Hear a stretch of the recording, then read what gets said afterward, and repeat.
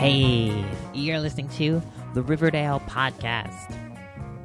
This is episode number 86. My name is Jonathan. Welcome to lovely Riverdale, USA.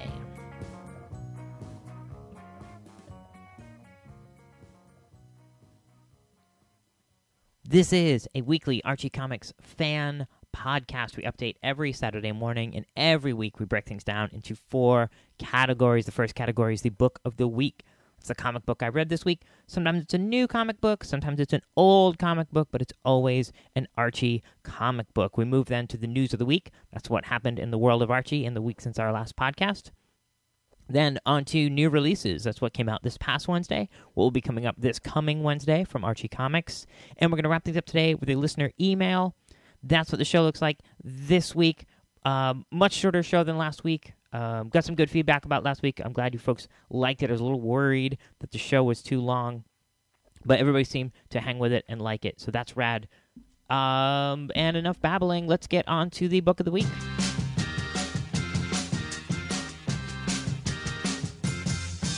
This week's book of the week is Betty and Veronica, number 268. This is the final story in this current run of storybook stories. This is Betty and Veronica in Reggie Stillskin, based, of course, on Rumpelstiltskin, which is not unlike some of the other classic uh, fairy tales, storybook stories that they've been doing. Um, I had forgotten the plot of the original, so I don't know how much this varies. I mean, I know there's two main female leads instead of one main female lead to uh, make room for both Betty and Veronica in the story. But aside from that, uh, I guess I have to go back and learn a little bit more about my fairy tales. But as I said, this is the final issue in this five part series of storybooks. And uh, I I really couldn't be more thrilled that we're through this. Um, they have been fun. They have been interesting. Uh, I can't say enough good things about Jeff Schultz art throughout. Uh, this arc has reintroduced Jeff Schultz to the Betty and Veronica title, and if that is its legacy, fantastic. But uh, as I've said in the past, these books, uh, these stories aren't necessarily my favorites, and frankly, they're not written or drawn for me. So uh, it is up to me as the Archie fan to uh, read it or not read it, and I choose to read it and uh, pick out the things that I like and talk about them with you. I'm excited that next month we're going to be back in Riverdale, and then I believe early next year we're launching into that new storyline with Michael Uslan and Dan Parent. Uh, the the big adventure overseas that we've talked about in uh, past episodes. So, uh, enough about the future of the book. Let's talk about the present of the book, Betty and Veronica in Reggie Stillskin. This is number 268. The fun for me in these issues has been seeing the ways that they recast the Riverdale kids uh, and the, the various citizens of Riverdale into these storybooks. And uh, I I gotta give it up to Dan Parent. The brilliant of brilliance of Reggie Stillskin is fantastic. Rumpelstiltskin is of course this sort of troublemaking little uh, little imp of a person, and uh, Reggie's perfect for that. And uh, Jeff Schultz does a fantastic job of rendering Reggie Stillskin as this little version of Reggie. He's got those same conniving facial features and it really does still look like Reggie, despite the fact that he's sort of shrunken down and he's got this little beard and everything. And the casting of Cheryl Blossom as the evil queen, of course, perfect. And uh, we get a little cameo by, I, I believe it's Moose and Kevin as the palace guards. That's super fun. And uh, I mean, the the general plot is the the general plot of uh, Rumpelstiltskin so I won't get into that too much, spoiler alerts and all that. But we do get this was the exciting moment for me. Was a little cameo, spoiler alert, uh, a little cameo by Josie and the Pussycats. Valerie and Josie and melody. And I don't know if I've ever seen these characters drawn by Jeff Schultz, but they look fantastic. Uh, in my mind, and I've said this before, uh, Jeff Schultz is really the the closest to that classic Dan DeCarlo house style that uh, that we all know and love. And seeing him render Josie with her classic uh, '60s hairdo is just fantastic. But uh, by the end of the book, uh, goodness and love prevails, as we always like to see it, and uh, we're left with uh, the classic Riverdale love triangle establishing itself here in this fairy tale realm, as it always does. It's uh, sort of the the end result of getting these three characters together in any setting. They're always going to end up in this this funny love triangle, and we end with a little bit of a uh, a, a moment between Valerie and Archie, which is cool. I love little bits of continuity and things like that. Like I I love seeing Archie and Valerie together and having that be a continuing through line between the uh, through the books. And it's cool to see that relationship break its way even into this uh, this storybook story here. And uh, I guess I guess that's it. Um, like I said, this uh, this five issue run has not been my favorite thing, uh, but I love to see Jeff Schultz. I think Dan Parent's done a great job with the scripts again, not targeted at me, so uh, I'm definitely not uh, uh, not picking any fights with it. It is what it is. I've had a fun time reading them. I am glad that we are headed back to Riverdale with the next issue. But that is our pick of the week. This week, Betty Veronica number 268.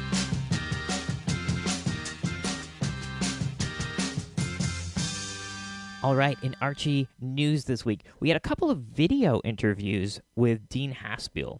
Dean Haspiel is, of course, the mastermind behind the Fox series, which you'll be seeing next week. We'll be talking about that like crazy next week, I assume. And uh, yeah, over at Newsarama and over at Comic Book Resources, they each had a very similar looking uh, interviews from these sky boxes above the floor of New York Comic Con, which happened just uh, about a week ago, a week and a half ago, two weeks ago, recently. anyway, um, and I generally try to only bring up interviews that, that have happened if we get interesting information out of them. And uh, the one over at Newsarama was uh, the most interesting to me because he mentions uh, Dean mentions that it's going to be a five issue mini. Now, I don't know if that's been discussed anywhere else, and I'm not sure if it's already been pushed into being a uh, an ongoing series.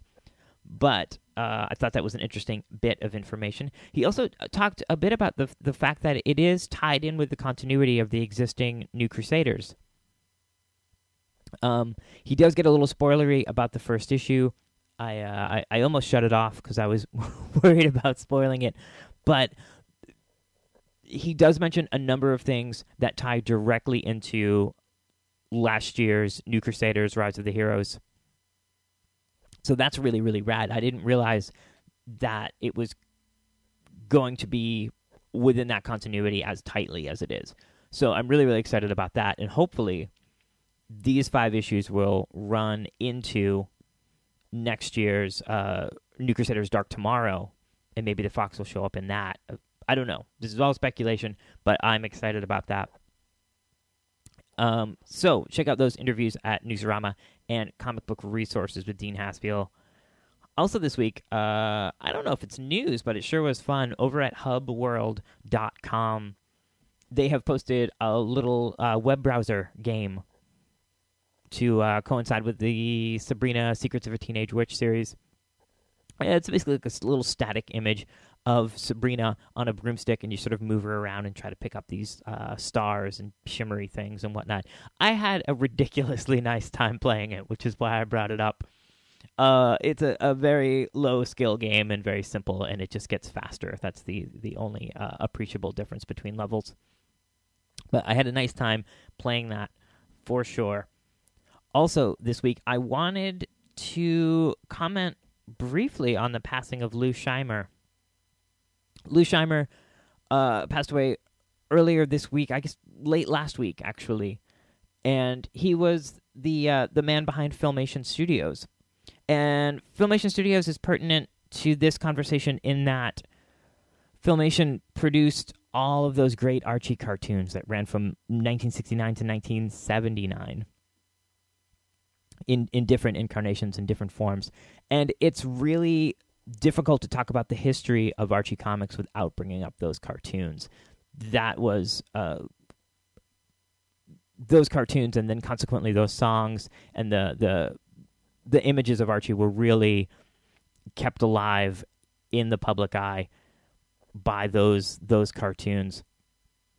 And um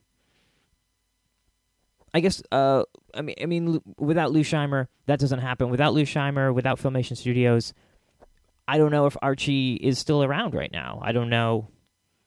It's certainly uh, a, a, very different thing without Lou Scheimer's involvement. That's for sure.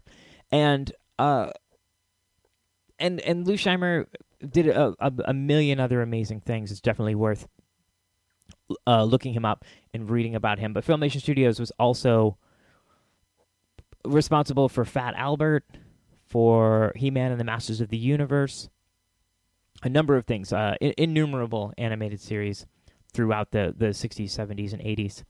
So, uh, uh, you know, respect and uh, condolences to his family. And uh, if you have a moment this week, read one of the many, many tributes to Lou Scheimer that are all over the internet. His work meant a lot to a lot of different people so I, I wanted to acknowledge that this week.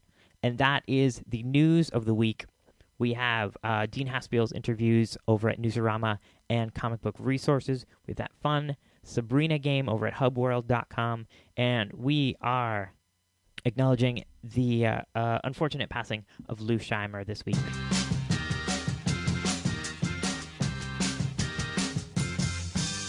New releases. New releases for this past Wednesday, the 23rd.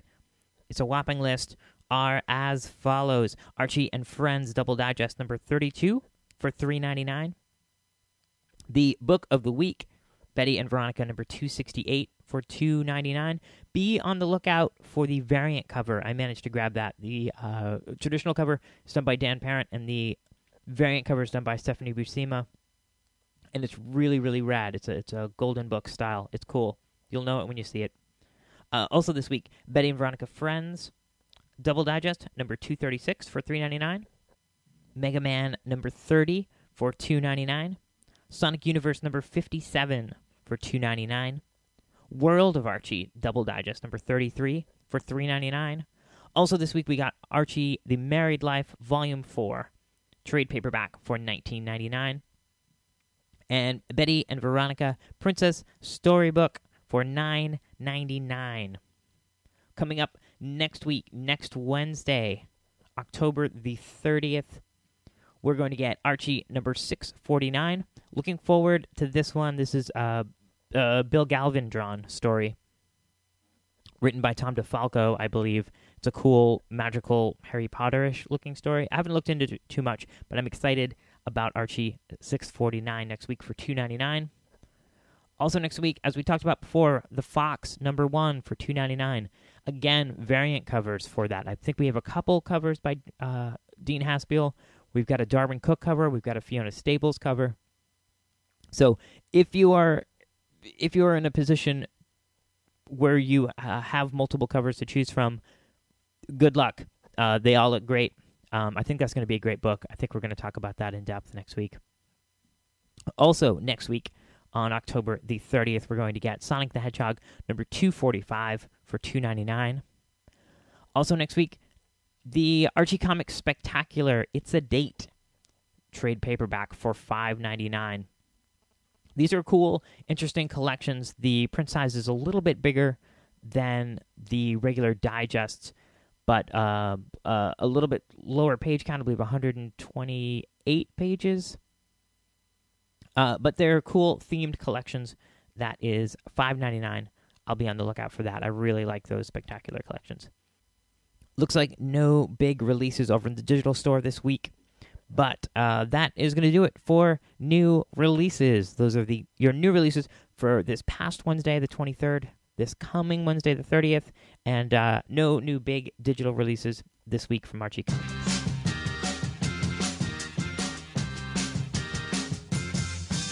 All right, and finally today, got a message from a listener I wanted to share with you guys. This came in uh, this week from Terry. Terry says, Hi, Jonathan. I want to tell you I like the panel format on the most recent episode of the podcast used for the Sabrina animated show. Have you ever thought of using some of the other Archie fans people? I think they would be fascinating. Frankly, I love hearing about their lives on the forum. That What Did You Do Today topic is worthy of Studs Terkel Anyway, just a thought. Hope you're well. In response, Terry, first of all, thank you very much. Um, I'm glad you liked the roundtable kind of discussion. Um, I'm hoping to have more of those in the future. There are certainly uh, a few people who I'm going to uh, go to about conversations like that in the future. I think that's a lot of fun. And in some cases, can be even more interesting than an interview to just get a few of the fans um, giving their perspective and stuff. So that's definitely on the table. Um, also, I had to look up who Studs Terkel was. I hope I'm pronouncing his name right. And uh, you should all look him up too. because um, I had to take a moment and be like, is that like an internet meme thing? But no, he's a, a very famous broadcaster um, of whom I'm completely ignorant.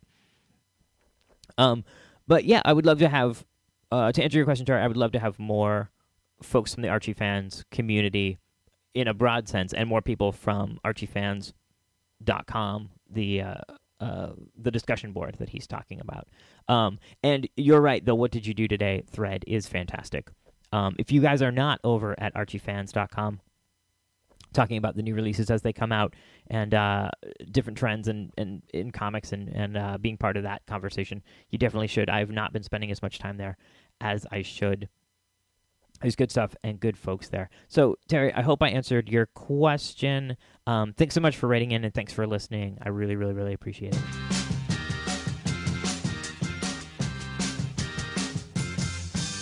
A great way to help out the show is to listen every week. A great way to help out the show is to write an email like Terry did.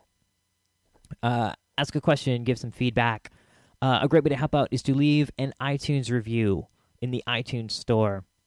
And uh, another great way to help out the show is to head over to RiverdalePodcast.com and click that link for TFA, Things from Another World. This is a big, beautiful, expansive comic book store at your fingertips. And uh, we have a great offer with them where when you click that link and order anything from their site, I get a little percentage of that, and that helps to keep the show going. So if you're buying comics online, you can do so through Things from Another World, and uh, the show will get a little piece of that. So uh, head over there, order your copy of the Art of Archie covers, that brand new hardcover. You'll get a discount on that. Get it for just twenty six ninety nine. Lots of great deals, lots of overstock stuff, lots of backstock stuff, lots of nick and dent books, uh, beautiful looking books that have slight imperfections. I've ordered a number of the great Archie hardcovers from them through their, their Nick and Dent sales, and they come in looking beautiful. Over in their Nick and Dent store right now, you can get Adventures of Little Archie Volume Two for four ninety seven, half price. That's that great old Bob Bolling Little Archie stuff. Also, the Archie Giant Kids Joke Book. You can pick that up in the Nick and Dent section of the website for just three forty nine. Lots of great stuff there. All different comics, statues, posters, uh, whatever you want, whatever uh, you can get from your regular comic shop, you can get from Things from Another World. And uh, we get a piece of the action when you head over to RiverdalePodcast.com and click on that link. Takes you right over to the site.